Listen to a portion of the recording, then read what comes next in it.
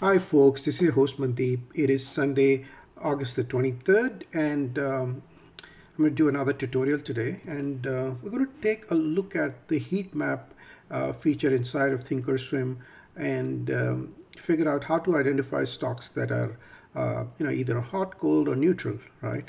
So in order to get into um, the uh, heat map function, you click on the market watch and uh, inside of market watch there's uh, a bunch of sub tabs uh, you have quotes, you have alerts, financing rates, calendar. You click on visualize, right? And under visualize, you will see this heat map. So that's one of the things you can look at uh, first thing in the morning. And I don't do this, and I'll show you why because I have a slightly different mechanism. Because uh, I use a, a static sector list. But you can start by taking a look at this list uh, and see uh, which are the stocks that are you know in green, right? And obviously the bigger the size here of the uh, box, that essentially means um, it has the a bigger market cap. And uh, as most of you know, Apple has just crossed the two trillion market cap, so it's it, it is uh, it'll be the biggest one. But uh, just off the you know just right off the bat, you know that the market is kind of more neutral to bearish, um, and this is um, you know Friday's data, and uh, because most of the stuff is red, right? There's very few uh, green things across the board. So that at least gives you the information the market is neutral to um, sort of bearish, right? So you cannot go heavy on, on the long side. But if you do decide to go uh, and take some trades on the long side, then you have to be extremely selective in nature, right? So what I do is um, I actually go and take a look at the public list and I typically will, you know, look at the Russell 1000. That's a good place to start the first thing you notice is that uh, you know you can immediately see uh, what the different sectors are. So you know, communication and consumer discretionary so on and so forth. And inside of each there are further subsectors right? So when i click on the communication uh, services you can see predominantly red right? So there's really no interest in um, any of these stocks. And as you can click here you know it's the same story right?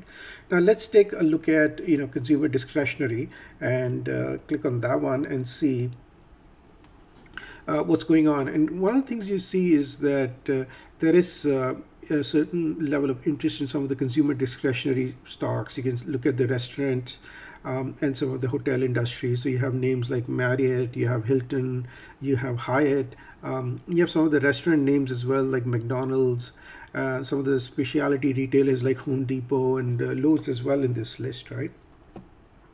So when you start seeing a certain grouping, right, that gives you, that tells you there's a little focus on that sector. So if you're looking at consumer discretionary and then you go and look at the subsector, you can see there's an interest in, um, you know, the hotels and some of the fast food restaurants on that particular day, right? Now you can, you know, again look at uh, consumer staples and you'll see yeah, there's a name. Look at the energy sector, predominantly red, right? So there's uh, no point trying to trade a sector which is not in vogue, right? There's no interest in that, you know, whether it's from institutions or it comes from retailers um, or some kind of a combination take a look at the financials, there's nothing that really shows up uh, in bright green here, right? So if you look at the healthcare sector, yes, you have J&J, you have TMO, um, and uh, look at the industrial sector, you had um, Deere, which I believe had good earnings. And then again, you know, if you go into the information technology sector, you will see uh, Apple and NVIDIA as some of the dominant names in that, right? Uh, let me show you one other thing you can do instead of the heat map here. You just uh, click on that and you can look at the index watch. So when we look in this section, uh, and uh, one of the things you notice is um, for the S&P 500, you can see the number of issues that are advancing, the number of issues that are declining, and uh, you can see the more issues that are declining than uh, advancing. So at best, the market, as I mentioned, was neutral to a little bit on the bearish side, right? So when you have this, uh, uh, you have a better correlation. So sometimes you will see the issues that are advancing are 80% uh, and only 20% are declining or, or even 70% is a good threshold. those are days when the market is really trending, right? So there's a good opportunity to go long. And, and the likelihood on those days is that most of the pullbacks will get bought. Okay? But in this, on a day like this, you have to be uh, very selective. Anyway, what I end up doing is I have a static list of uh, the various sectors that um, uh, the market is being subdivided into, and I look at those what I'll do is I'll show you a place where you can download the sector list and this is a static list. Now within that I add a, a column which is called the percentage change. So when you sort this by percentage change in the morning, it'll give you what the top sectors are. So this FNGU is a, a conglomerate for the heavyweight tech stocks, heavyweight uh, technology stocks. So this consists of, you know, your Googles of the world, the Teslas of the world, the Amazons, the Nvidias, and so on and so forth. So once I see this sector to be on the top, my, you know, initial response is to look at some of those names and see, you know, how are charts performing, right?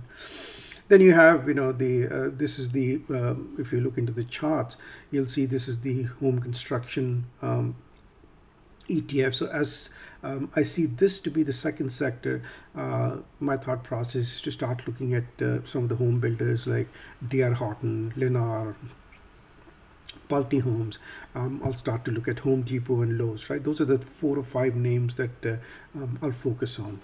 Okay, so then I'll look at, uh, you know, the third sector is the uh, the gambling index.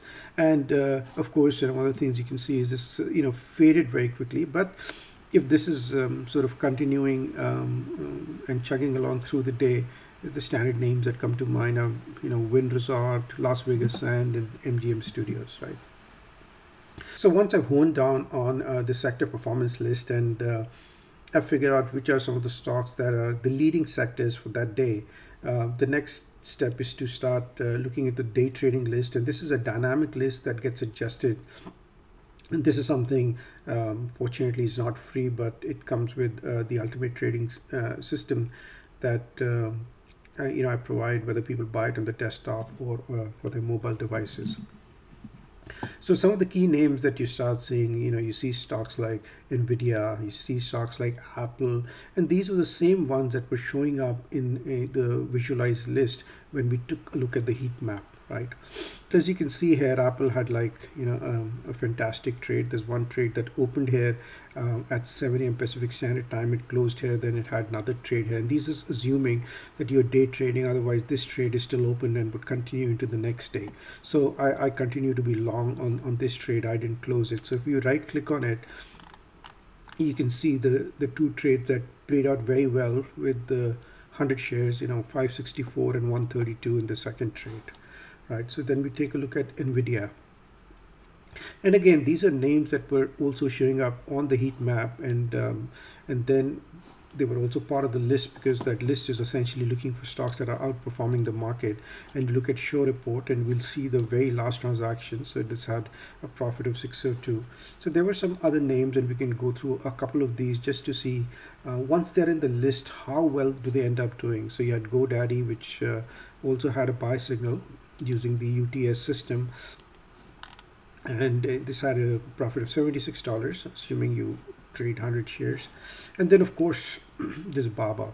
So Baba had uh, a really good option flow as well um, on uh, Friday. Plus you know it was uh, in the uh, you know the day trading list and this ended up doing quite well. As well $467 of profit in this.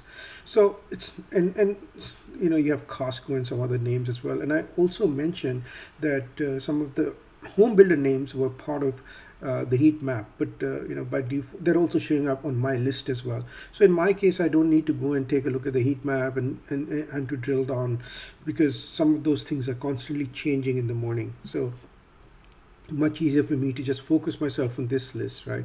So i limit myself to the list where um, you know as long as bo both these columns are green and these two columns are also something that i've made available on my website. So one of them is called the dynamic orb and the other one is called the relative volume So a lot of people like trading either the 15 minute, 30 minute or the hour orb and this one is dynamically adjusting. So my focus is just clearly on these stocks because you know they're breaking the orb plus at the same time they also are trading high relative volume, right? And there's a I have a unique way on which by which I calculate uh, the relative volume. So as I mentioned, some of the home builders were there, and so those were on the list as well. Um, and uh, you can see that this one also triggered a very good uh, you know buy trade um, $154 in this trade. And then I mentioned some of the fast food uh, restaurants were also on the heat map like McDonald's and you know Chipotle. And you have um, Shake Shack here which also had a trade. So and J&J was another one that I mentioned even though it wasn't in one of the leading sectors. But uh, when we looked inside the uh, the the healthcare sector and the you know the drug sector uh, as a, a subsector. Uh, this was one of the stocks as well, right? And this one had a profit of 166 as well, uh, just using the day trade. So you can use this market watch and you can use uh, both the index watch as well as the heat map to get a good feel of you know what are some of the market movers for that day right and second you can see if the advanced decline line ratio is 70 30 in like either direction then you know uh, the market is trending. So i discussed some of the names that were in the day trading list and um, you know it only becomes useful when you end up taking some of those trades. So i'll give you a snapshot. as i mentioned you know there was apple uh, that was in the trade and it had two trades you know this nine that made a profit of 920 and another you know roughly $200 i also talked about baba which had a good trade of 543 i lost 62 in another trade. Uh, we discussed costco and nvidia and both of those are also trades that i ended up taking. And um, i ended up losing small amount of money in walmart and tesla. Tesla did have a buy signal but it ended up uh, not doing well and uh, consequently uh, you know uh, lost some money on it so the last thing I, I want to place where you can download the scripts, right? So for that, you need to go into my website, the beardedinvestor.net and uh, drill down on the blog section. And uh, so you'll have to scroll down uh, till you see the, the free script section that I have there. And uh, so here we are. Here's the free script section. Just click on it. And uh, so you'll see so I have the sector performance list that I talked about.